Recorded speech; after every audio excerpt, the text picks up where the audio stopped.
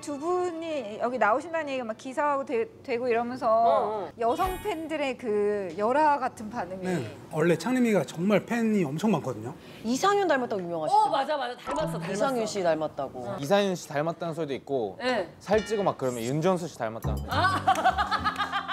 어디 거기서 저 무슨 어, 내가 무슨 느낌인 줄 알 것 같아. 맞아 와 오 맞아 익숙하다 그랬어. 그래서 어. 누가 윤정수 씨라고 말하, 말해서 이제 아니야, 이상윤보다 윤정수, 윤정- 윤정수 씨 닮았다고 많이 들어요.